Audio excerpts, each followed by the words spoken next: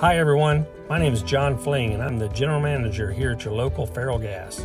We hope that everyone has been safe and healthy during these challenging times, and we are eager to see your smiling faces in our communities again.